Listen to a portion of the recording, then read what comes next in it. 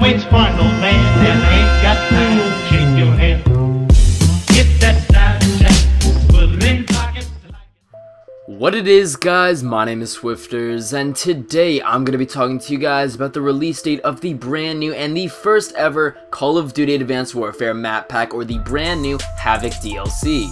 Now, specifically in today's video, I'm going to be talking to you guys about the release date of the Exo Zombies mode, but I'm going to hit briefly on the multiplayer maps, but more importantly, we're going to be talking about Exo Zombies. So, as you guys can see on screen right now, this is the official wallpaper for the brand new up-and-coming Havoc DLC. This is the official and confirmed one, as Sledgehammer actually went ahead and posted this on their Twitter account. As you guys can see at the very top, it says January 27th, so that is the release date for that. January 27th, which is a Tuesday Tuesday. It's about a month away.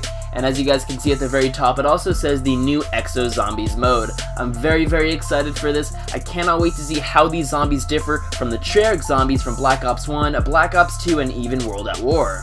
Now, along with the top of Exo Zombies, there's also the AE4 Widowmaker, which will be incorporated into Advanced Warfare, although it is already in the game, however, only the Season Pass holders can access that right now. Moving on to the four multiplayer maps at the bottom, we've got Sideshow, Core, Drift, and Urban. Like I said, I'm going to briefly touch on those, not really going to discuss them a lot, but I myself play a ton of multiplayer with my friends, so I cannot wait to try all of these maps out. But moving back to zombies, I'm very, very excited for the Exo Zombie mode.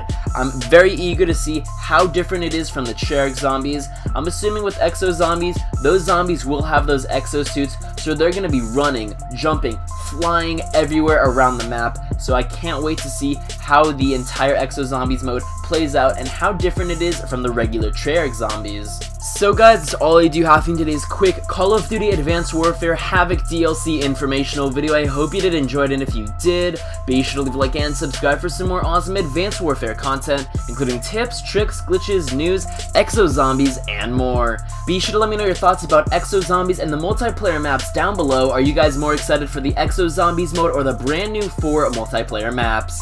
Until next time guys, this has been Swifterrs, I'm out. Peace.